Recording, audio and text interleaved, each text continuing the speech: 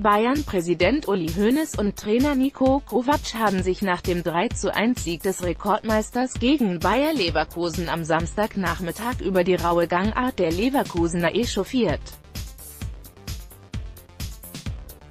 Hoeneß rügte Karim Bel-Arabi für dessen Einsteigen gegen Rafinha, das eine Innenwandverletzung am Sprunggelenk des Brasilianers zur Folge hatte. Das Foul war natürlich geisteskrank, das ist vorsätzliche Körperverletzung, schimpfte Hoeneß.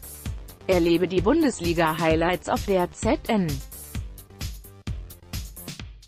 Hol dir jetzt deinen Gratismonat.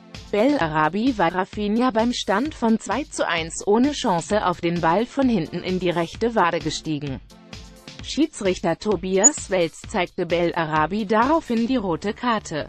Der frühere Nationalspieler war erst wenige Minuten zuvor eingewechselt worden. Niko Kovac spricht von Frivilt Kovac merkte indes an, dass es ihm an Schutz für seine Spieler mangele. Das Einzige, was wehtut, ist die Verletzung der beiden Spieler.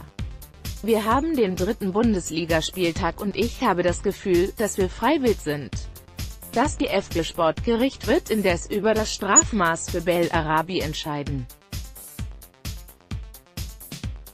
In Rage geraten forderte Hoeneß, sowas gehört drei Monate gesperrt.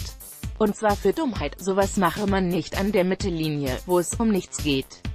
Rafinha verließ im Anschluss humpelnd den Platz.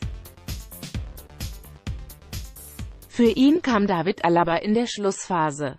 Auch Corentin Tolisso verletzte sich im Spiel gegen die Werkself. Der Weltmeister zog sich einen Kreuzband- und Außenmeniskusriss zu und wird mehrere Monate ausfallen.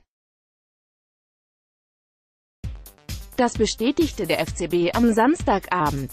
Mehr zu Bayern München und Leverkusen.